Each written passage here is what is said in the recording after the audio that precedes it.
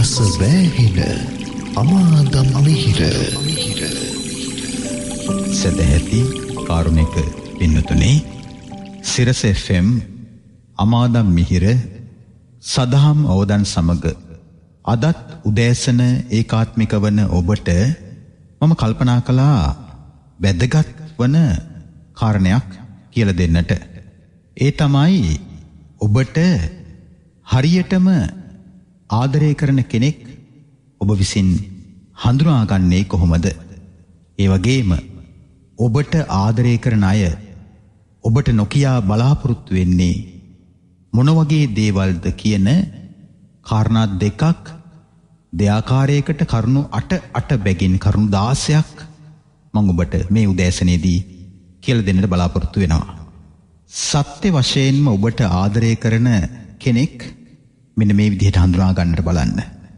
මේ ලක්ෂණ ඔහු හෝ ඇය තුළ තිබෙනවාද කියල බලන්න.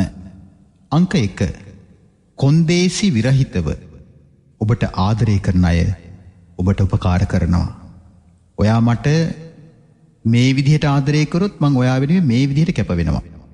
ඔයාමට අරක අරන්දුන්නොත් තමයි මංවාට ආදරේ ඔයා මංකිනද ඇහුවොත් තමයි මංවාට ආදරේ ඒක ගණු දෙනුවක්. ඒක වෙළඳාමක්. ඔබට සත්්‍ය ලෙසම ආදරය කරන කෙනා. කොන්දේසි විරහිතව ඔබ වෙනුවෙන් කැප වෙනවා.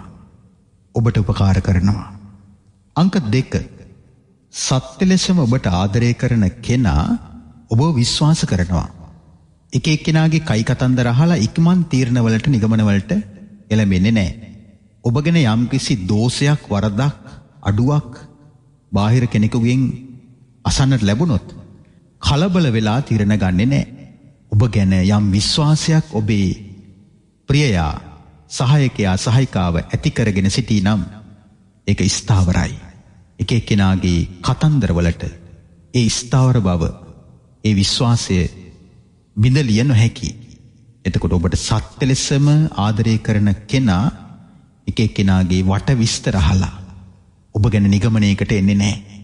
ඔබව හොඳින් දැන අවබෝධ කරගෙනයි ඔබට ආදරය කරන කෙනා ඔබත් සමගම සිටින්නේ. එම විශ්වාසයත් ඒ විශ්වාසය ස්ථාවර බවත් ඔබට ඇත්තෙන්ම ආදරය කරන කෙනෙකුගේ ප්‍රධානම ලක්ෂණයක්. අංක තුන්න සමානව සිතනවා.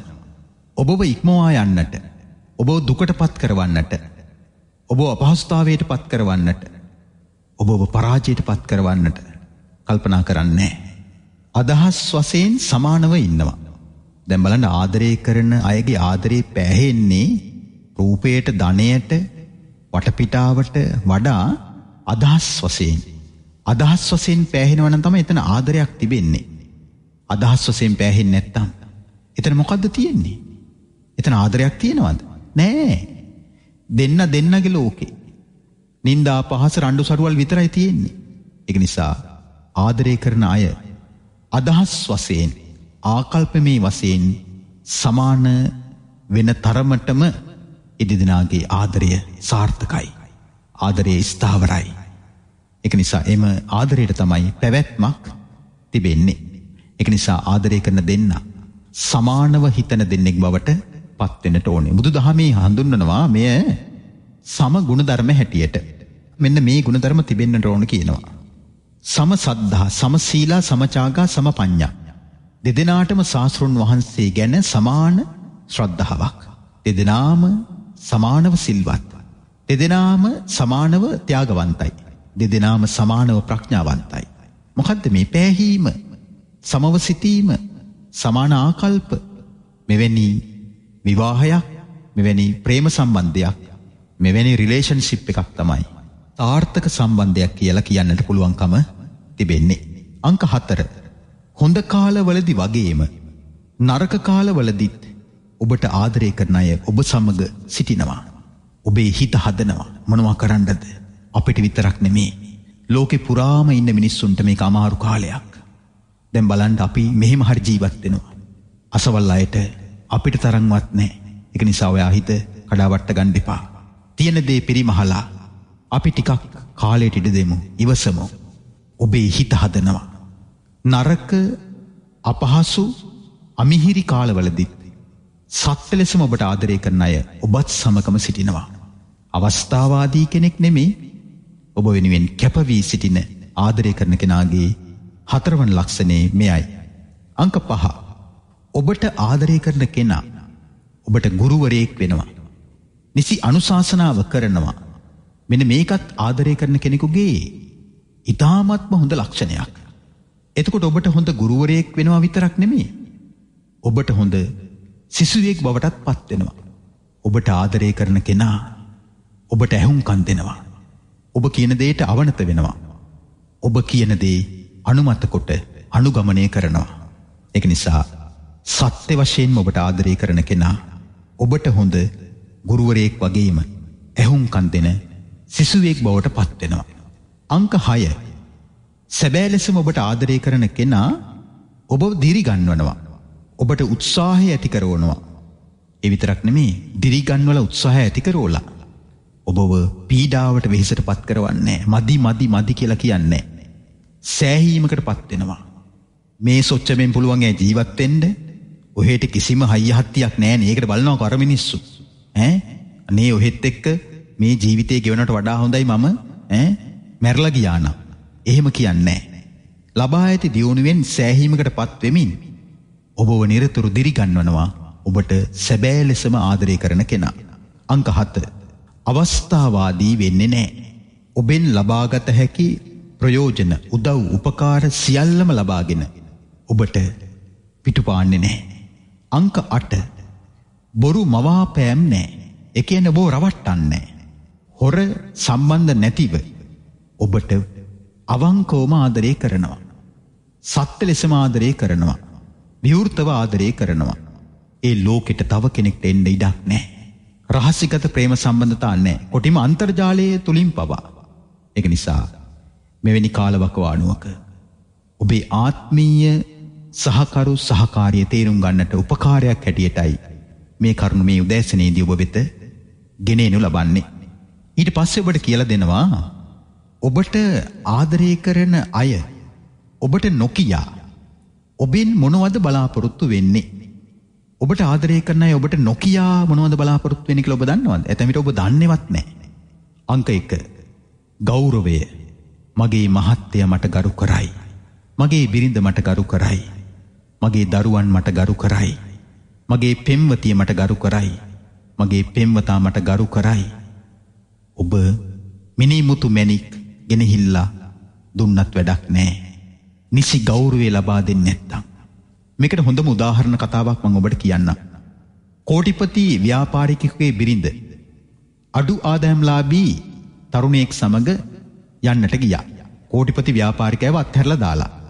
කුමක්ද හේතුව මිලමුදල් දේපල වස්තුව නොමැතිවීමද යානවාහන නොමැතිවීමද නෑ. එම කෝටිපති ව්‍යාපාරිකයා එම බිරිඳට නිසි ගෞරවේ ලබාදීල නෑ. අන් මට ගරු කරයි කියන කාරණය මිනිස්සුන්ගේ ඇටමිදුළු දක්වාම කිඳා බැහැපු කාරණයක්. අපි හිතන්නවත් නැති කාරණයක් එක නිසා. අපිට ආදරය කරන අපෙන්. ආහාරපාන තෑගිබෝග අනිකුත් බෞද්ධික අවශ්‍යතා වගේම මානසිකව බලාපොරොත්තු වෙනවා ගෞරවය. ඔබ ආදරය කරන අයට ඔබ නිසි ගෞරවය ලබා දෙන්න. අංක දෙක. මම ආදරය කරන කෙනා මාව නිසි ඇගීමකට ලක් කරයි. මොක දැගීම. ඔයා ඒ වැඩේ හොඳට කරලා තියෙනවා. ඔයා සාර්ථකයි ඔයාගේ උත්සාහය මල්පල දරලා තියෙනවා. අපිට සතුරු වෙන්න පුළුවන් සැනසෙන්න පුළුවන්. ඔයා හරී ලස්සනයි. ඔයා හරී හැඩයි. ඔයා හොඳට කෑම ටික හදලා තියෙනවා. ඔයාගේ තේක තමයි රසම තේක. මේ පුංචි පුංචි දේවල් අපි හිතන්නේ නැති දේවල්. බොහෝ විට වෙන්නේ ඔහේ උයන කෑම කටේ තියන්න බෑ. ඔහෙගේ තේක හොඳයි ඈ අනේ ඔහෙත් එක්ක මම පවුල් කනවනේ. ඔහෙත් ඉරිමියෙක්නේ ඈ? බලනවක අරමිනිහා ඒකට. මේක ඇගීම නෙමේ. මේක අපි අන්න අයට කරන අපහාසය. අපිට ආදරය කරන අයව අපෙන් ඈත් කර ගැනීමට අපේ මුවින්ම පිටවෙන දුරුවල වචන. අංක තුන්න මම ආදරය කරන කෙනා. මට සහයෝගය ලබාදී ජීවන සහකාරයා සහකාරී කියලන සාමානෙන් වචනය කියවෙන්නේනේ කුමකටද සහය වී යුත්තේ? ජීවිතේ පවත්වාගෙන යන්නට ආදරය කරන ආදරය කරනට සහයෝගය ලබා දෙන්න ඕන අපි ආදරය කන අප මෙෝ බලාපොරොත්තු වෙනවා. අංක හතර මාව දිරිගන්වයි. මට උත්සාහය උනන්දුව ඇතිකරවයි. උත්සාහය උනන්දු ඇතිකරවීමත් පුදුමාකාර දෙයක්. ආත්ම ශක්තිය ඇතිකරගන්නට පුදුමාකාර උපකාරයක් ලැබෙනවා අපි වටා ඉන්න අපිව දිරි ගැන්වීම. අංක පහ. මට නිදහස ලබාදේ. අපි නිසා යැපෙන අපි යටතේ ඉන්න ආදරය කරන අය ගැන අපි කොහොමදන හිතන්නේ. මම කියන පිළිවෙලට මෙයා සියයට සියක් ඉන්න ඕනේ හිට පංකිව්වොත් හිටු. යමන් කිව්වොත් යන්ඩෝන්. එහෙම හරියන්නේ තේරෙනවාද. ආදරය කියලා කියන්නේ සිරකරුවන් පිරිසක් බිහි කිරීම නෙමේ. නිදහස ලබාදීම. කැමති කෙනයිදී කැමති කෙන අයයි. එහෙම මධ්‍යස්ථ වෙන්නට බුද්ධිය මතු කරගණ්ඩ ඕනේ. ආදරය කියලා කියන්නේ සිරකිරීම නෙමේ නිදහස ලබාදීම හැබැයි ඕනට වඩා නිදහස ලබාදීම කියන එක මෙතනින් අදහස් කරන්න. හොයල බලනවා. නොමග යන්න දෙන්නේ නෑ. නමුත් අසාමාන්‍ය විදිහට සිරකාරයෙක් බවට පත් කරන්නේ. නිදහස ලබා දෙන්න හොයල බලන්න. හැබැයි සැක කරන්න එපා අංකහය ඔහු මට ඇය මට ඇහුම් කන්දෙයි මං කියන දේත් අහයි. ඇතැම් අය එයා කියන දේවිතර යහන්ඩෝන්. අනිත් අය කියන එක යාට ඇහෙන්නේ නෑ එය අහන්නෙත් නෑ. ආදරී කරන කෙනා හිතනවා අනේ මම කියන එකත් මොහොතකට අහනවනම්. එයාම නෙමේ මගෙත් හිතේ අදහස් තියෙනවන්නේ. ඇතැම් අය අදහස් හිතේ හිරකර කර ඉන්නවා හිරකරගෙන ඉන්නවා. ඒ අදහස් දක්වන්ඩුවත් නිදහසක් ඉඩක් ලබා දෙන්නේ නෑ. කොච්චර දුක්හිතයිද බලන්ඩකු. කොච්චර අමානුෂීයයිද කියල බලන්ඩකු. එක නිසා ආදරය කරනයට ඇහුම් කන් දෙන්න කරුණා කරලා ඇහුම් කන් දෙන්න. නැත්තං ඔබට ඔබේ ආදරය කරන අය ඉක්මනින් මහිමිලා යයි. අංක හත්ත ඔබ ආදරය කරන අය ඔබට නොකියාම බලාපොරොත්තු වෙන දේවල් අත්තර වැදගත්ම දෙයක් ඔහු මාව ඇය මාව විශ්වාස කරයි. විවාහය කියන කාරණයේදී විවාහයේ මූලික පදනම ඕනුන් අතර ඇති විශ්වාසයයි. සැක බහුල්ල ජීවිත කරුමයක්නේ රෑබෝ වෙලාවත් සැකයි. වැඩිපුර ටිකක් උදෙංගියත් සැකයි. ෆෝන් කෝල් එකක් අරගෙන එංගේච්චුනත් සැකයි. මෙසේජ් එකක් යවල රිප්ලයි නොකරත් සැකයි. හැම විටම සැක සැක සැක සැක. කරුමයක්. සැකේ කියන කරුමයට එන්න එපා. වැරදි කරන මිනිස්සු නැතුවාම නොවෙයි. නමුත් අසාමාන්‍ය ලෙස සැක කරන්නත් එපා එක මානසික රෝගයක්. එක නිසා ආදරය කරන අපිට නොකයාම අපි බලාපොරොත්තු වෙනවා. මා විශ්වාස කරයි. අන්නේ විශ්වාසය රකින්ඩ එය පළුදු කර නොගෙනඉන්නට ඔබ වග බලාගන්න. අවසාන කාරණය අංක අට මගේ සැමියා මගේ බිරිඳ මගේ ප්‍රේමවන්තයා මගේ ප්‍රේමවන්තිය මගේ අම්මතාත්තා මගේ දූලපුතාලා මට ආශිරුවාද කරයි. දියුණුව කරා යන්නේ මනුස්සෙක්නේ මස් ඇට ලේවලින් සමන්විත ජීවිතයක්. අපි අන්නයගෙන් බොහෝ දේවල් බලාපොරොත්තුවෙන බෞතික නෙමේ මානසිකව. එක නිසා අපිත් සමග ඉන්න අය දියුණුව කරා යද්දි. ඉගෙන ගැනීමට මහන්සි දරද්දී. ව්‍යාපාර රැකීරක්ෂා ගොවිතැන් වලට උනන්තු වෙද්දී.